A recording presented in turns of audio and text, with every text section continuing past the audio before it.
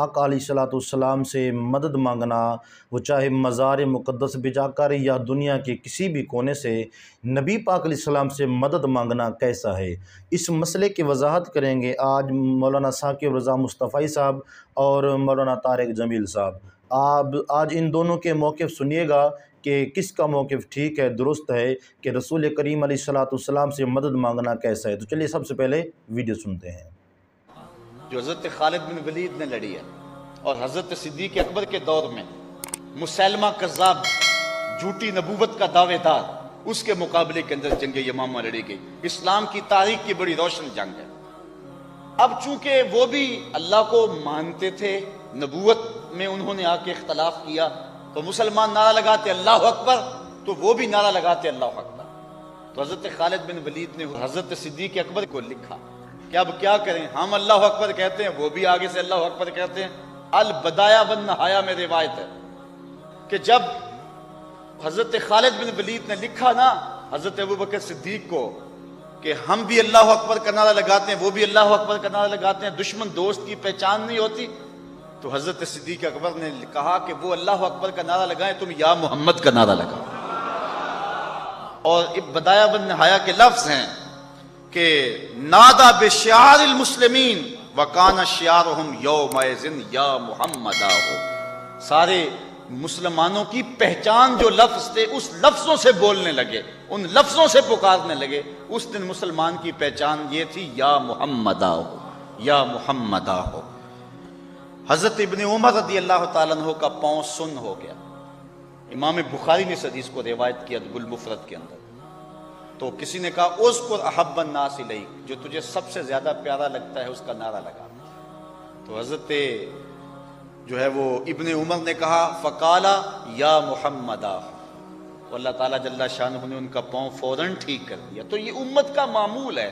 अगर इसको हम शिरक का इल्ज़ाम लगा देंगे तो फिर उम्मत में से कोई नहीं बचेगा। तो जो हुजूर से मांगते हैं, हुजूर उनके दामन गोहरे मुराद से भर देते हैं और रहमतों से माला माल करते हैं। अल्लाह मुझे आपको अपनी रहमतों का दूर नसीब फरमाए। इब्न कसीर रहमत बहुत बड़े आदमी हैं, भारी आदमी हैं, इल्म की दुनिया में। उन्होंने एक वाक़ नकल किया है, वो बताने लगा। अल्लामा आतबी रहमत कब्र पर बैठे थे। ये पहली सदी का एक वाक़ लगता है कि कोई वो रोक, रुकावट नहीं थी और कुछ पढ़ रहे थे। तो एक बद्दू आया।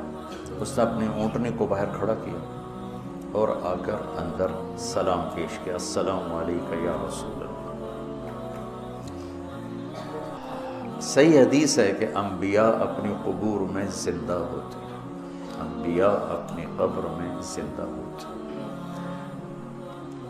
और अल्लाह के उन पर मौत आती है।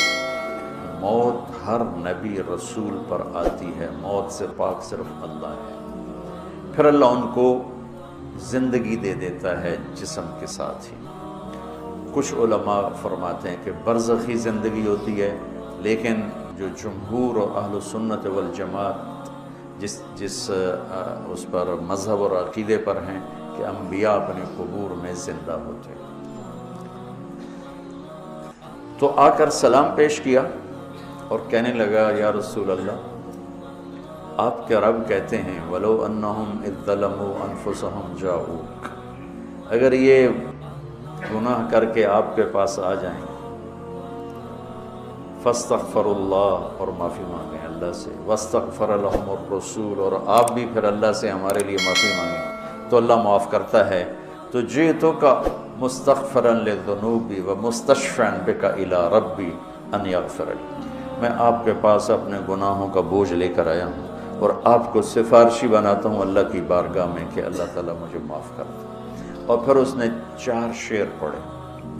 दो शेर अब भी रोज़ा मुबारक का जो दो पिलर हैं, जैसे यहाँ खड़े होकर सलाम कर दें, एक शेर यहाँ लिखा हुआ है, एक शेर यहाँ लिखा हुआ है। दो किताब में लिखे हुए या खैर मन दुफनत फ़िलका आदम हो फ़ताब मनती बहन अलक़ाम है वो बाबरकत ज़ात। जो ज़मीन के अंदर गए तो ज़मीन का अंदर भी पाक हो गया और ऊपर भी पाक हो गया। अंदर भी खुशबूदार और बाहर भी खुशबूदार। ये इधर है शेर। नफ्सल फ़िदा अंत साकिन फ़ी आफ़ाफ़ वफ़ी जूद वल करम।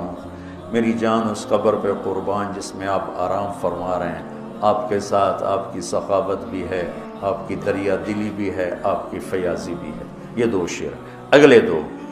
अंत शफ़ीदी तुरजा शफ़ात अलसरात इदामा ज़ल्लतलक़दम आप ही वो शफ़ी मुजनबीन हैं कि पुल सरात पार होगा आपकी सिफारिश और शफात से अमलों से नहीं आपकी शफात से पुल सरात पार होगा वो साहिबा कला अनसा अबदा और मैं आपके दोनों साथी अबू बकर उमर को भी कभी नहीं भूल सकता मिन सलाम माजरल कलम क्या शेर कह गया और क्या बात कर गया। या रसूल अल्लाह क़्यामत तक, जब तक कलम चलते रहें, मेरा सलाम आप तीनों को पहुँचता रहे। कलम तो कभी रुकता नहीं, और आजकल कलम बहुत ज़्यादा चल रहा है। कंप्यूटर कितना बड़ा कलम वजूद में आ चुका है। तो क्या बात कर गया। अरब की फसाहत पे कुर्बान जाऊँ, लहम अलसन फसीहा। ईरान के बादशाह ने कहा था कि अरबों में क्या खसूसियत है? तो तो वो था उमैया बिन अब सल्त। उसने कहा, लहम पुरुक कलूबन ज़रिया, व अनसाबन महफूजा व अलसनत फसीहा। का मेरा सलाम पहुँचे आप तीनों को जब तक कलम चलता रहे। और फिर वो रोता हुआ, बाहर निकल गया। अलामत भी को एकदम नींद आ गई।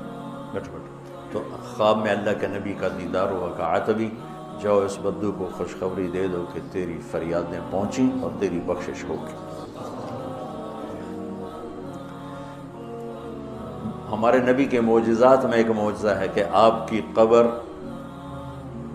मौजूद मशहूद बाकी जितने अम्बिया हैं, उनकी कब्रें यकीनी नहीं हैं। इब्राहिम इस्लाम की कब्र मौजूद है और कई अम्बिया की कब्रें इराक़ में, फ़लस्तीन में लेकिन यकीन से नहीं कह सकते कि वाकई ये हैं। सिर्फ़ हमारे हबीब पाक हैं, जिनकी कब्र मुबारक यकीन के साथ है। और आपका फैज़ आपके जाने के बाद भी दुनिया में चल रहा है, जारी और सारी है। और आपका फैज़ आपके जाने के बाद भी दुनिया में चल रहा है, जारी और सारी है। और आपका फैज़ आपके जाने के बाद भी दुनिया में चल रहा है, जारी और सारी है। और अल्लाह ताला ने हमें आपका उम्मत ही बनाया। तो जैसे वो कर गए वैसे कर दो। तो अल्लाह ताला जब भी देखेगा खुश होगा मेरे हबीब की दोस्तों आपने कराम से मसले की वजाहत समात फरमा ली है। फरमाते हैं कि कहीं भी नबी पाक सलाम से मदद चाहो मांगो जायज़ है, नाजायज़ नहीं है। तो याद रखिएगा, ये दो मोतबर कराम थे, जिनकी वह ज़ुबानी आपने सुना है बल्कि सिहाबई कराम भी सलाम से मदद मांगते थे। तो अगर मसले की वजाहत होगी है तो वीडियो को लाइक, शेयर ज़रूर कीजिएगा, चैनल को सब्सक्राइब लाजमी कीजिएगा, ताकि हमारी हर आने वाली इस तरह की न्यू वीडियो अब तक बाकायदा पहुँचती रहे। अल्लाह हाफिज़।